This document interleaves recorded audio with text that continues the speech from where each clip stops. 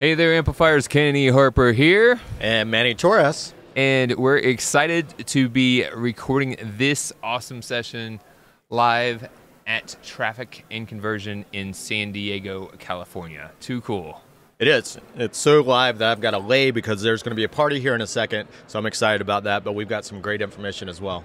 Yeah, not too crazy of a party in this in this van. We're going to be just sharing some of the immediate takeaways that we've already got just in the last couple days. Uh, we're hearing from some of the best marketers from around the world, and it's not just you know for marketers, but if you're in business or if you're an entrepreneur, you definitely want to be tuned in to what's happening in the marketplace, because if you haven't noticed, things are changing and they've changed ever so much in the past couple years due to the pandemic. Yeah, and it's been accelerated because of that pandemic. You know, we were seeing a slow move towards digital. Ryan this morning kicked us off by talking about how that's been accelerated with the pandemic, with businesses forcing being forced to go online and change their business model so that they could survive.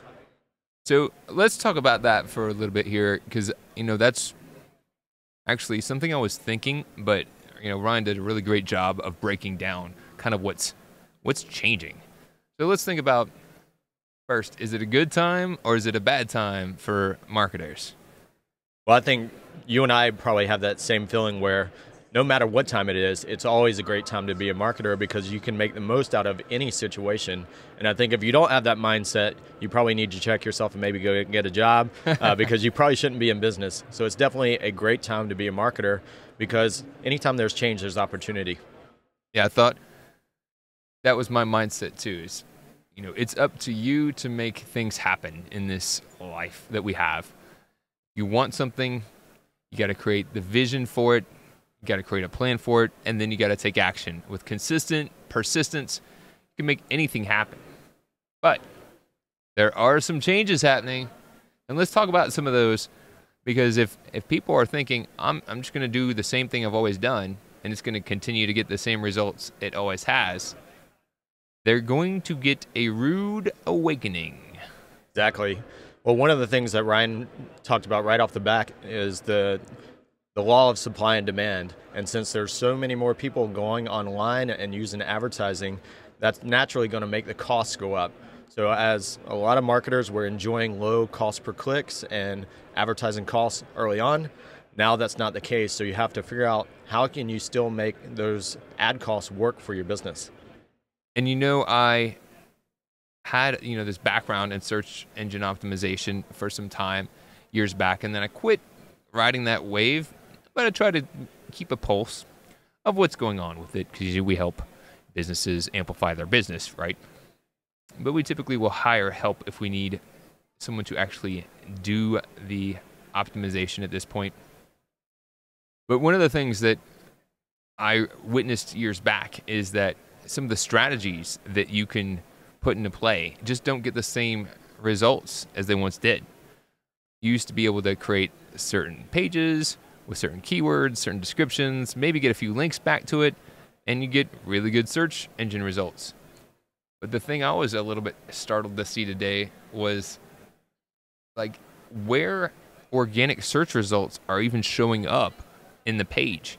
And I think there's a client that has been experiencing that recently is they're seeing a little bit less uh, clicks through to their site.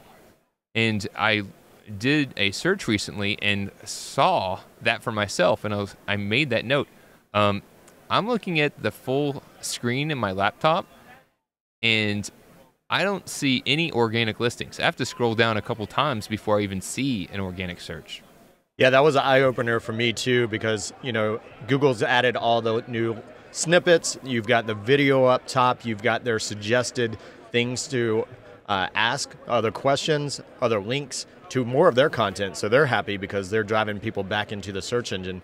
But yeah, the, that organic search is so far down that we probably would never click there. And that's impacting those clients that spent a lot of money trying to get that first page, first listing on that search result. So even if you do manage to outcompete all the other people in the saturated market of SEO and get up top, the paid search and the snippets are getting all the love. So now we've got social media is super saturated. There's so many people to compete against who are very influential, who will do anything for attention, and some of them are, you know, really attractive, or really funny, or really talented, and to compete against them would be quite uh, a challenge because it's, as it was pointed out, it's more about entertainment at this point. Right, and you and I both have kids, and we've seen how you know quickly they can get drawn into something that has no relevance whatsoever to what they're looking for, but it's something that catches their eye. And these are the things that we're competing with. You know, most people have a very short attention span. People say six, seven seconds. And if you can't grab that attention and entertain them, it's going to be really hard to get their focus and really get your message across. And it's getting more tough because we have more of those influencers and crazy people eating Tide Pods and everything else. Uh, so it's another challenge that was illustrated today. So it, it's a couple things that are definitely making it challenging. So we've got ads being more costly, and people are, you know, getting used to certain types of campaigns, so they're being less effective. We've got uh, more saturation in social media in general. Um, we've got technology that's blocking the ability to even track and target. We've got uh, organic search having its challenges. So, what is a entrepreneur, a business owner, or a marketer to do? And I want to throw one more out there: the iOS update, which right. takes away tracking. So there goes another tool in your tool belt. Uh, but what we've seen is, you know, it's kind of taken a step back. So instead of looking for what's changing, we start to look and say what hasn't changed, what's still working, and one of the things that was brought up today, which I, you and I both believe, which is those principles of marketing. What are those key things like market message media so that you can really use those frameworks of success that have been working for decades and implement those into your business? And we're the big fans of value journey optimization. Right. So crafting the path to attract prospects and seamlessly, subtly guide them to become customers that pay, stay, and refer. Just got done delivering a presentation on that. And if you haven't documented that path and aren't consistent with it, that's a good place to focus. And then one of the things that we've been a fan of for some time is is that hybrid marketing, like taking it offline and not just relying on digital. If you can use digital maybe to get in front of an audience, maybe to get their attention. But then what about going offline move that conversation forward? It's that old adage of when your brother-in-law tells you to buy a stock, it's probably not the time to buy the stock. So when everyone else is jumping into something, it's always a good time to reflect back and say, well, what other things had been working in the past that we stopped doing that we could start leveraging again? And email is another great one because you own that list. You can dictate when and how you're communicating to your prospects and your clients. And it's a great way that you can continue that relationship and progress them down the line. When you're providing great content and you're getting it in front of your, your audience, and then you have a plan to what what's the value I'm providing here. I, I don't know who suggested it, but they said, look at your newsletter. Would you read it now, granted, you may not be your target audience, but is it entertaining? Is it interesting? Is it helpful? Is it relevant? Or is it just stuff, right? I, I don't know how many people's email I get and it's just a bunch of stuff, but I think more people do it wrong than actually create something that people would want to see. Right, and a great great way to overcome that is go out and subscribe to some of those newsletters that are doing it right. Um, the hustle is a great one that you can use as, as an example and see what they're doing to create that engagement, see how they're taking you down that customer value journey, moving you up the line to the next step, and see how you can implement a little bit at a time. You don't have to become them overnight, but what's one thing you can take from their newsletter and implement into your own? And then mixing in that physical element, maybe sending an actual physical letter to someone's mailbox. You know, once upon a time, mailboxes were full of a bunch of junk mail. I remember opening my mail. Yes, I remember this happening. And it was just full of this big wad of stuff. And you had to just sort through it and throw the trash out, and you wouldn't look at it. But recently, I opened my mailbox, and it's, you know, there's a few pieces of mail in there. Most of them look generic, and you throw them away. So, what would you do? I think it's funny. It, you know, we have the inverse effect. It used to be we got excited when, when we had one email, you right, know, back You've when got AOL. mail. And uh, back then we used to, you know, be frustrated with how much junk mail we have. And now it's flip flopped where we have so many emails you don't even know a way to read them all. But now you've got a few things in your mail, and someone sends you a postcard or a letter, and you, you feel flattered, right? Because you feel, like, wow, they took the time to do this. So that is a great multi step way that you can reach out. And as we know, the more ways that you can touch a client, a prospect in your outreach in different mediums, the, the, the improvement of your conversion is going to go up because now they're seeing your face, they're hearing you, they're, they're in, not inundated, but they feel like they know, like, and trust you more. And now that's a better chance for you to move that relationship forward. and I know some people have been resistant. Um, business owners resistant. They're like, that costs money to send things in the mail. But what would you tell them that are saying it's going to cost too much money to put something in the mail?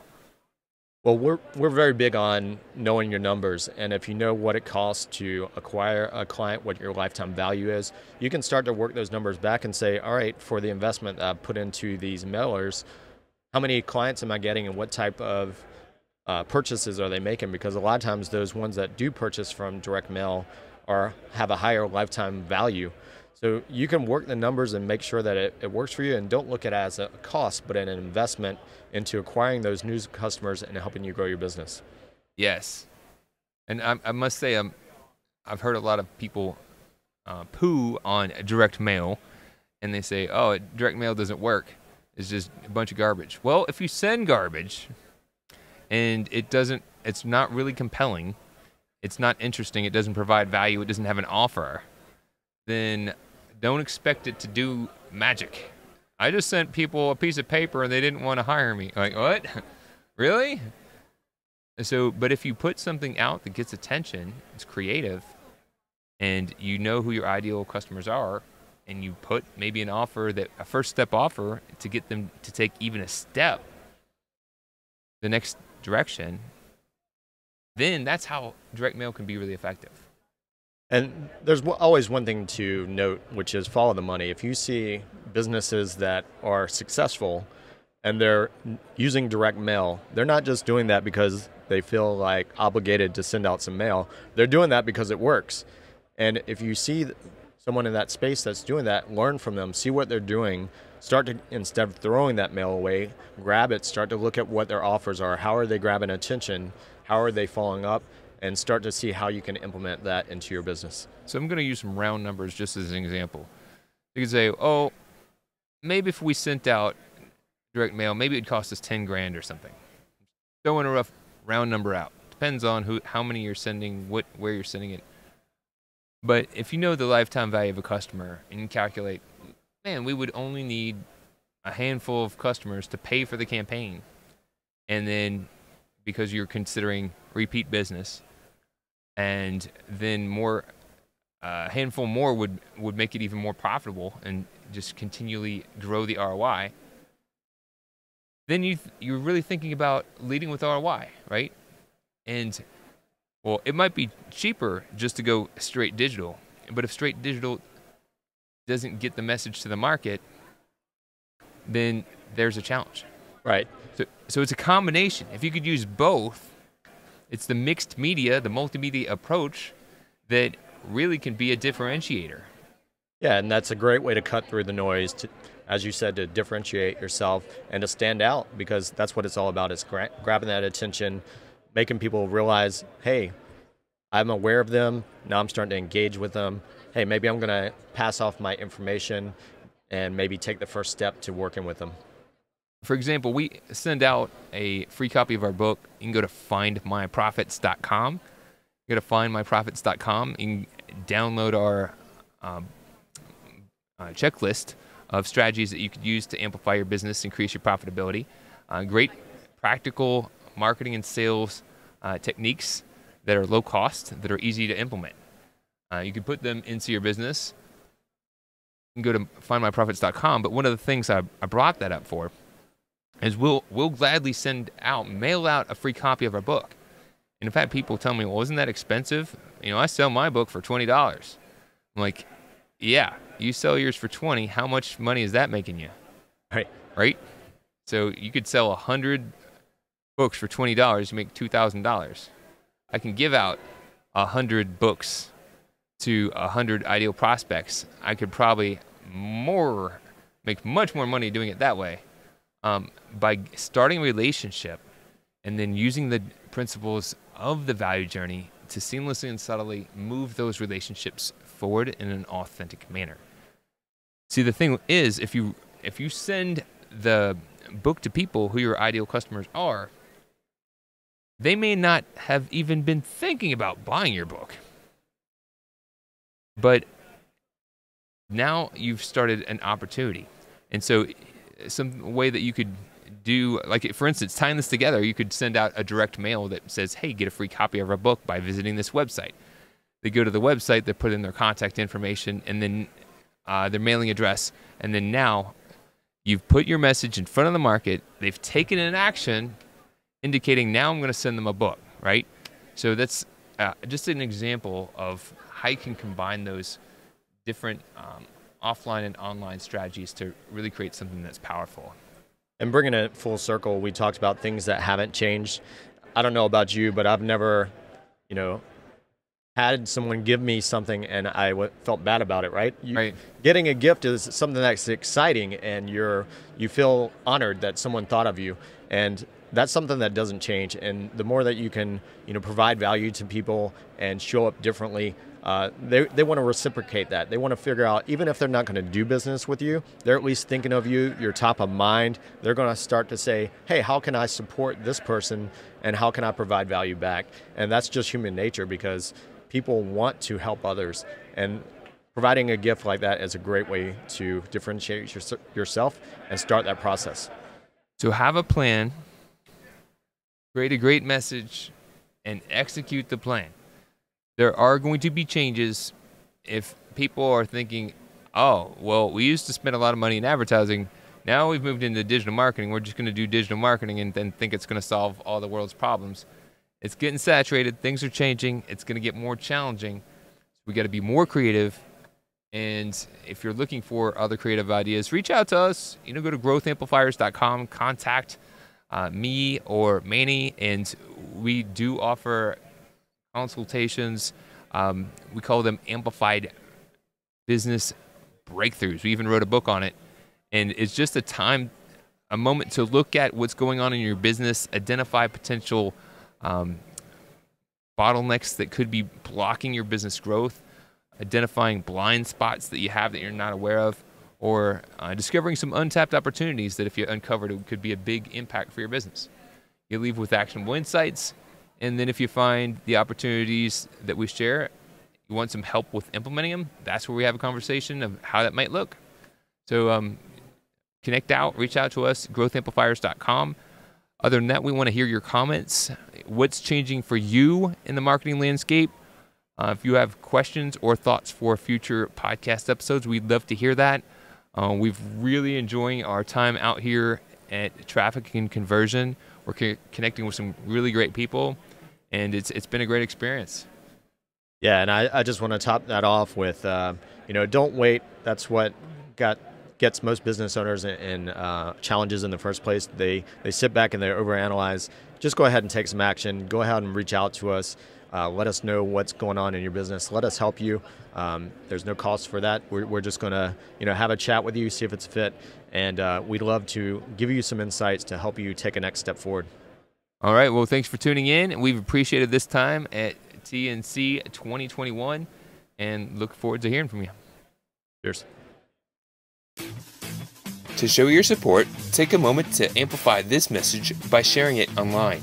To connect with me or gain more business growth insights, visit www.growthamplifiers.com. thank you for your support.